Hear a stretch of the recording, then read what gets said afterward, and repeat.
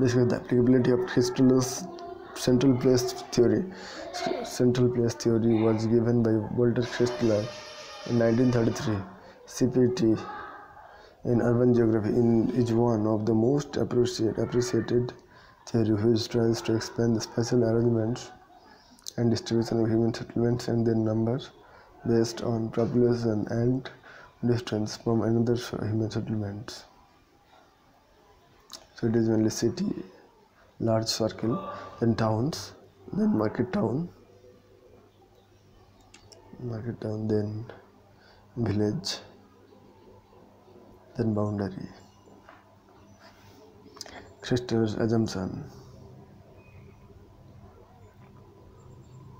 Christaller's assumption to focus on the economic aspects on, of his history of his theory. Christaller had to create a set of assumptions. He decided to, for example, that the countryside in the areas he was studying would be flat, so no barriers would exist to impede people's movement across it.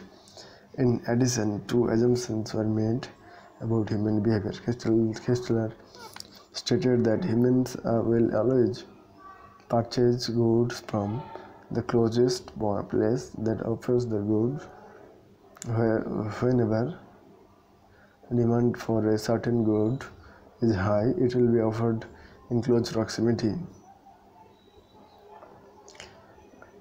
to the population. When demand drops demand drops so too does the availability of the good. Central place uh, size and species Within the central place system, there are five sizes of communities. A hamlet is the smallest eh, and is the and is the rural community, which is too small to be considered a village.